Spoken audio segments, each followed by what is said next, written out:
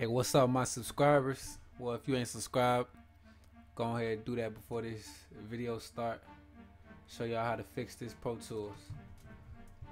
S- Control or delete, task manager. If you uh, go to services and go down to uh, right here, PACE license services. You see, you see, it's running right now. So let me fuck. I'm about to stop. Run Pro Tools. It's gonna open up. See. Now let me close this shit out. Just show y'all it work. Alright, now go back to service. Now look, I'm about to press stop. Watch this shit. It don't fucking work no more. It ain't gonna fucking open.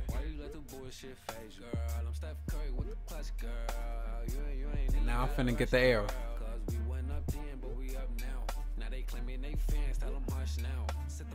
Any minute.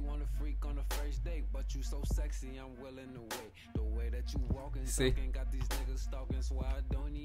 It ain't gonna open. Now if I press start, start PACE license, D services,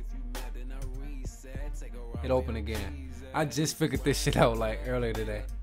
So, no, like yesterday I figured it out. So, that shit was irritating me how much uh, errors I was getting. Finally, I don't even know how I fixed that. It was just luck, honestly. But yeah, go ahead and subscribe. Uh, do all that good shit. Yeah. Thanks for watching.